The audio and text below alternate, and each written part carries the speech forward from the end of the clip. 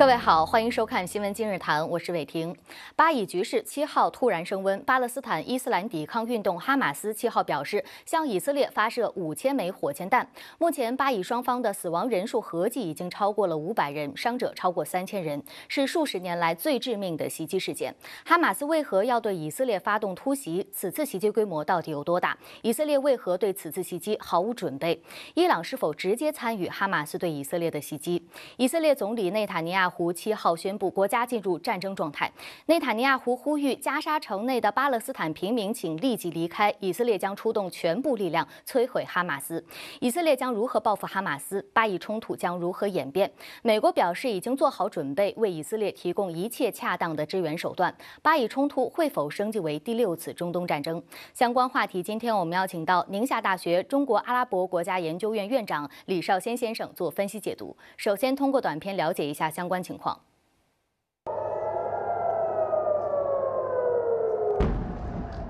当地时间七号晚，包括特拉维夫在内的以色列中部和南部地区再度拉响防空警报。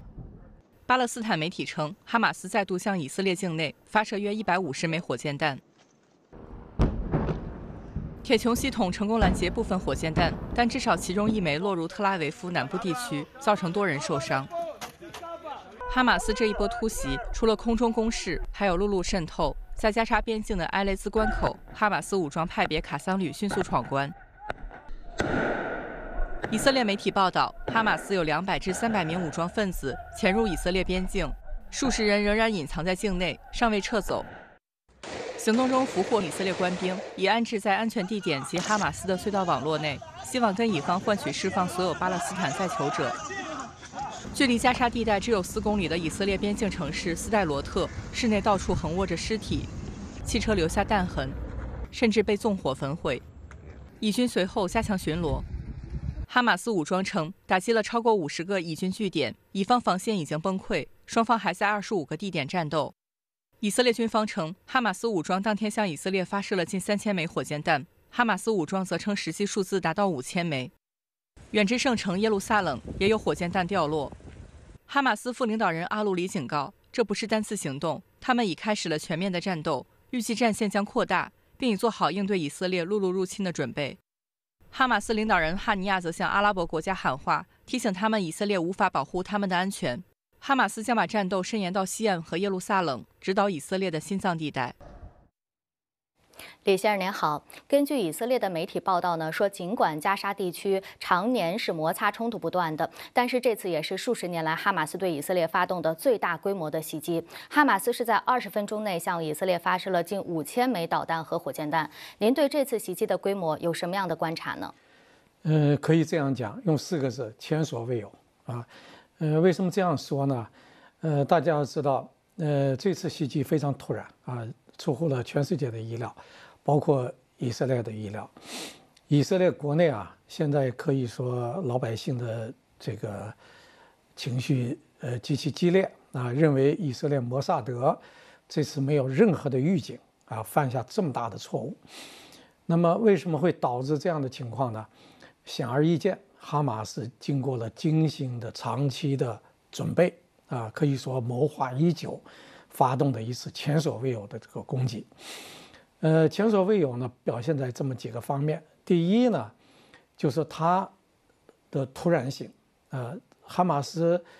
给以色列造成了很多的烟雾啊。我们知道，今年五月，以色列和加沙地带的圣战组织——以色列圣战组织曾经爆发过激烈的冲突，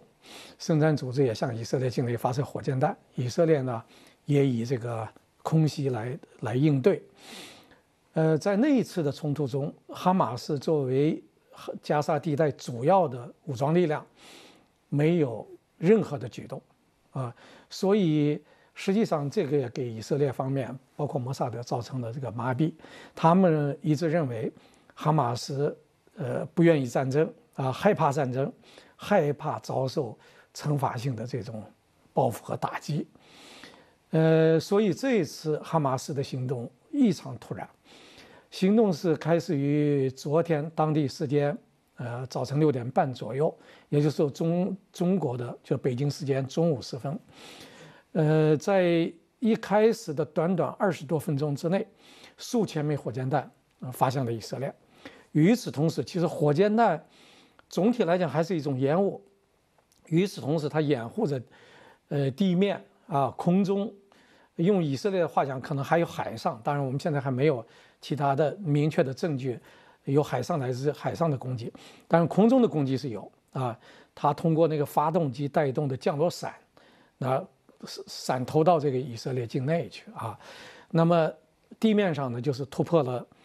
那个以色列检查站的那个封锁，就是隔离墙啊、铁丝网啊，用推土机，然后打开突破口以后，呃，数十名啊，现在说有两百多名武装分子呃冲到了以色列境内啊，呃，造成了很大的，所以它是一个精心策划、协同作战啊。可以说海陆空都动用起来，这么样的一次行动，这次行动的规模啊，超出了，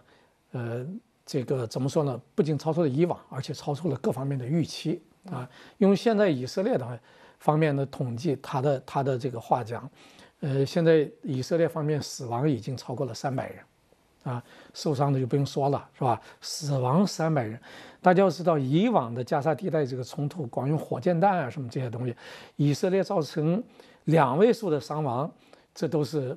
比较罕见的啊。这次死亡就有三百人，你可以想见它整个的规模，可以说前所未有。您说到这次对以色列的威胁呢，不仅仅是有火箭弹，社交媒体发布的视频也显示说，有多名头戴面罩的巴武装人员乘坐了吉普车出现在了以色列南部城市斯代罗特的街道上，现场也响起了交火声。以色列国防军是确认了一些来自加沙的武装分子进入了以色列的领土内。在您观察，这次袭击和以往双方的摩擦有什么样的不同呢？呃，很大不同啊，一个最大的不同就是。哈马斯的武装人员进入到以色列控制区，而且进入到以色列城镇啊，呃，攻占了以色列的一些基地，包括军事基地、警察局，检摧毁了检查站，这样，呃，而且抓捕了很多以色列的这个官兵啊。据以色列方面透露，呃，最高一个级别的一个少将阿洛尼被俘获啊，而且被带回了加沙地带，所以。呃，这次行动的这个规模以及造成以色列的这个，呃，这个损伤啊，是空前的啊。所以基于此，我个人认为基于此，以色列很夸张地宣布进入战争状态啊。用以色列现在国内的描述，就以色列这次遭到的攻击是以色列的九幺幺，就类似于二零零一年美国遭到九幺幺攻击啊。所以他宣布进入战争状态。呃，以色列历史上啊，呃，在对于内部的这样一种这个危机呢，从来还没有宣布过战争状态。我们知道中东发生过四次大的战争啊，有的人统计到五次吧，加上八十年代初的那个黎巴嫩战争，五次大的中东战争啊。每次战争时候，以色列当然是进入战争状态，但是除此之外，以色列宣布进入战争状态，这是空前的。啊，所以以色列这一次遭到的袭击是空前的，以色列的应对也是空前的。对于哈马斯发动袭击的这个原因呢，哈马斯是说对以色列的袭击是对其长期残害妇女、亵渎阿克萨清真寺和围困加沙的回应。对此您怎么来看呢？您认为哈马斯发动数十年来最大规模的袭击原因是什么？呃，哈马斯发动如此规模的袭击啊，呃，总体来讲，它实质上还是一个自杀性的攻击。啊，因为我们都知道，他面对着以色列大规模的报复啊，这是他他是准备承受这个报复的，所以一定程度上他是意义是是这这个自杀性的。他为什么发动这样的就是甘冒着自己被严厉打击报复的这样一种局面，他要发动这次大规模袭击呢？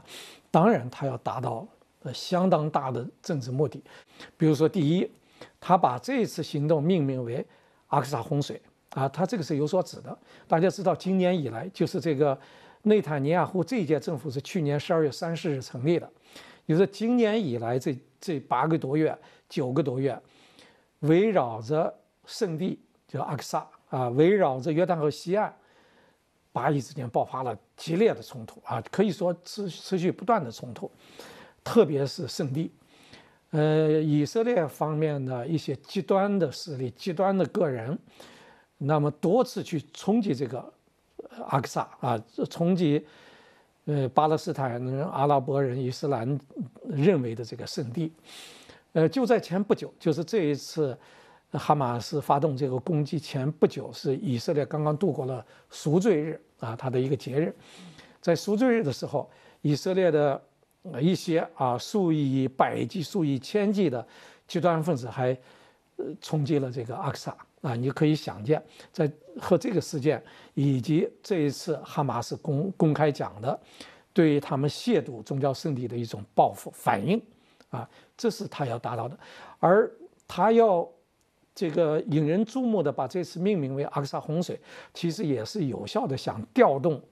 巴勒斯坦，就是包括约旦河西岸巴勒斯坦人的整个这个情绪，调动阿拉伯世界民心。啊，他所以这是他的一个政治目的。那么第二个目的呢？我们知道他实际上在啊想用实际行动来干扰正在进行中的一些阿拉伯国家和以色列关系正常化的努力。我们知道，在美国大力推动下啊，最近几个月，这个沙特阿拉伯和以色列在就关系正常化进行谈判。那么哈马斯呢？当然，我们知道，在特朗普时期启动所谓亚伯拉罕进程。一些阿拉伯国家和以色列建交了，那么阿拉伯放弃了过去统一的立场，就是和以色列建交的前提是巴勒斯坦呃民族权利的实现。那么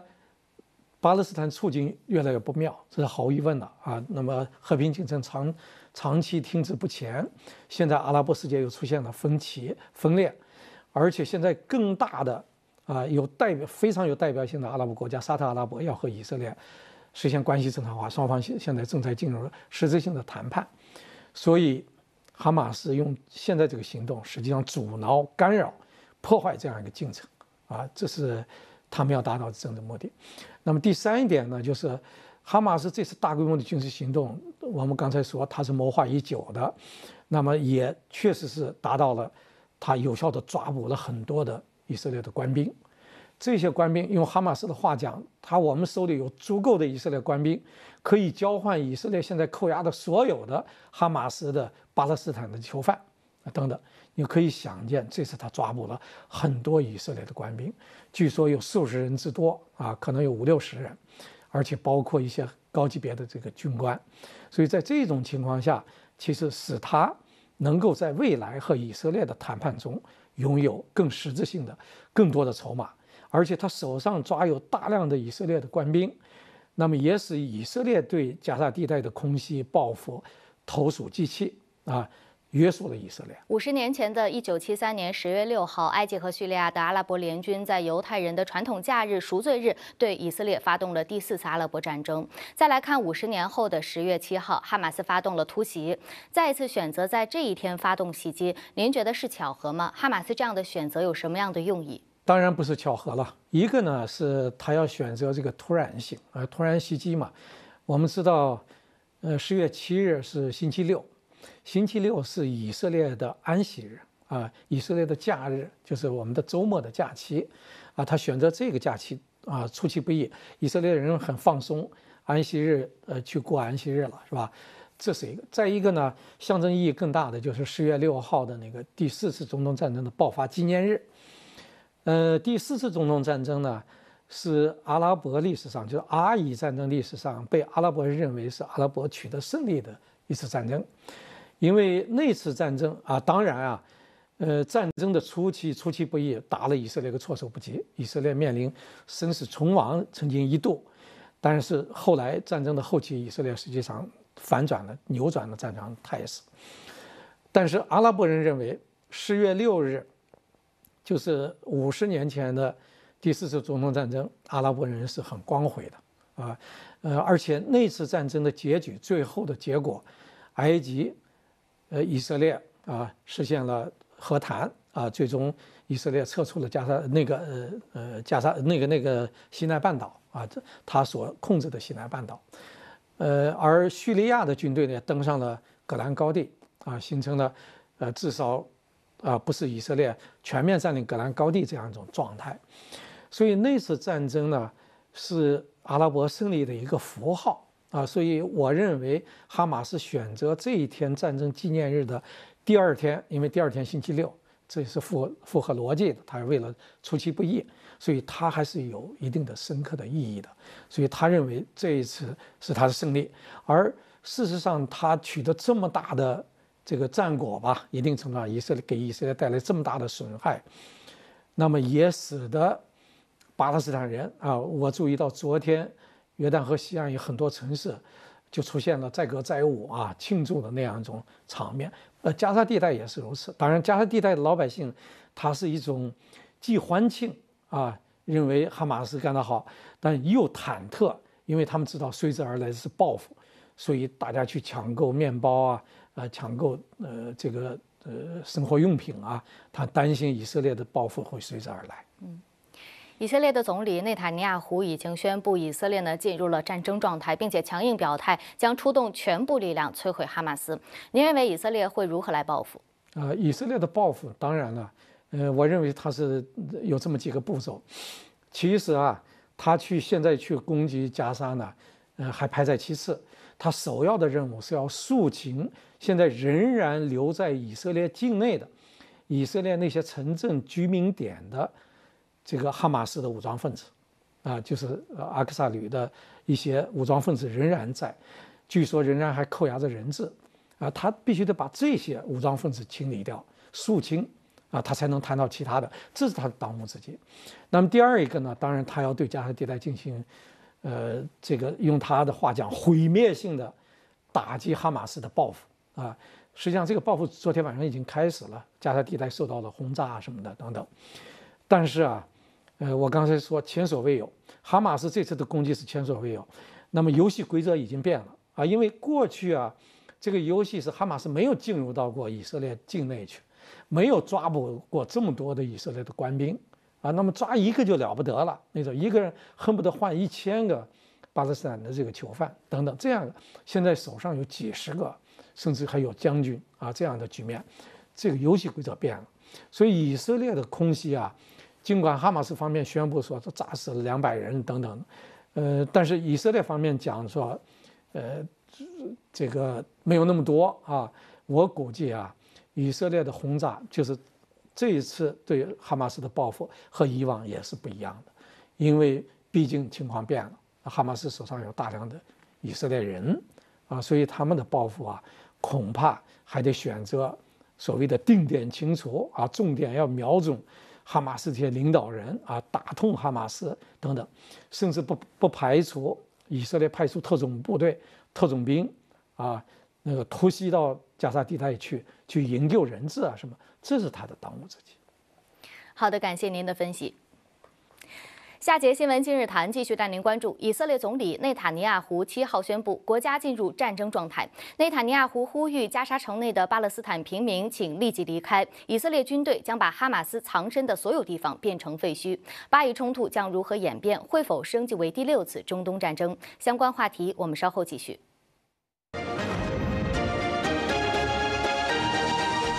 回来。以色列与巴勒斯坦间的冲突背后是长达百年的恩怨，双方近年来仍然冲突不断。二零二二年更成为自联合国二零零五年开始系统记录死亡人数以来，巴勒斯坦备战领土伤亡最惨重的一年。巴以冲突源自于中东一片土地，这里相传是耶稣出世的地方，也是伊斯兰教创始人穆罕默德升天的地方，同时也是犹太教的发源地。犹太人和阿拉伯人历史上都曾在此居住。一九四七年，联合国大会通过决议，决定在巴勒斯坦地区分别建立阿拉伯国和犹太国，但遭到阿拉伯国家反对。一九四八年，以色列宣布建国，长居此地的巴勒斯坦阿拉伯人对此强烈不满，因而与以色列开战。邻近的阿拉伯国家也加入战局。随后的数十年里，冲突与战火不断。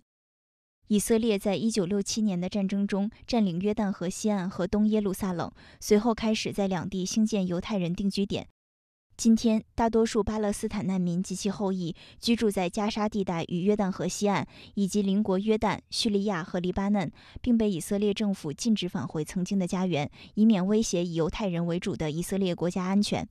据联合国统计，2022年被以色列安全部队杀害的巴勒斯坦人数量达到过去十七年来的最高值，被杀害的以色列人数量也达到了2016年以来的最高值。而以色列史上最右翼政府上台，采取更激进的对巴政策，以方强推犹太人定居点扩建计划，以及巴勒斯坦冒出更多的新型武装抵抗组织，以武力展开报复，都给本就紧张的巴以关系火上浇油。在您观察历史上五次中东战争爆发的原因和背景是什么呢？啊，当然五次战争的背景和原因都不一样了啊。呃，一九四八年爆发第一次中东战争，第一次中东战争实际上是以色列建国，按照一九四七年的联合国安理会的决议，啊，巴勒斯坦要建立两个国家，一个犹太国，一个阿拉伯国。那么以色列呢，按照这个决议，在一九四八年五月份宣布建国。以色列建国宣布建国的第二天，周围的五个阿拉伯国家宣布对以色列开战，这是第一次中东战争。第二次是一九五六年，一九五六年第二次中东战争也叫苏伊士运河战争。苏伊士运河战争是当年，呃，埃及宣布苏伊士运河收归国有，而引发了英法对埃及的入侵。那么以色列当时趁着这个空子，发动了。这个第二次中东战争，发动第二次中东战争，很快的占领了西奈半岛等等，但是美国不答应了。为什么美国会不答应呢？因为美国出于和英法争夺中东的这样目的，在美国的压力下，第二次中东战争呃很快的停下来，然后压迫以色列，又撤出了。西奈半岛等等啊，就是第二次中东战争实际上没有引发大规模的局面，第二次中东战争也没有引发领土的变更，这第二次中。第三次呢，一九六七年，一九六七年的中东战争呢叫第三次中东战争，打了六天，也叫六日战争。以色列突然向埃及、叙利亚发动了突然的袭击，六天之内解决问题，六天之内打出个什么结果来？把整个。约旦河西岸加沙地带以及埃及的西奈半岛、叙利亚的戈兰高地全部占领，啊，因为它是突然袭击，打了埃及、叙利亚、阿拉伯世界一个措手不及，所以第三次中东战争严重的改变了中东原有的这个这个政治的版图。那么第四次呢？一九七三年，一九七三年的战争是埃及和叙利亚联合起来，突然向以色列发动了攻击。啊，就是作为对一九六七年以色列突袭占领了埃及、叙利亚领土的一种报复。那么，为什么会有第五次中东战争呢？就是八十年代初，以色列为了把盘踞在黎巴嫩南部的巴解组织赶出黎巴嫩，所以他发动了入侵黎巴嫩的战争，这叫第五次中东战争。